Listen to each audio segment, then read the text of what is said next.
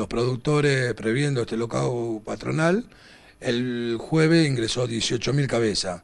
Se vendieron las 18.000 cabezas, quedando un remanente de 4.000 cabezas vendidas a frigorífico, pero quedaron hasta el día de hoy por eh, capacidad de los frigoríficos que no podían recibir más hacienda. Esta también es una semana muy corta, es decir, que ya está previsto que no haya que falte carne en ningún lado, no hay, no hay por qué tenga que faltar carne. El mercado es una parte muy em, emblemática sobre lo que es el vacuno en pie. Él viene a hacer un lobbying político acá adentro, porque la realidad es que no frecuenta el mercado.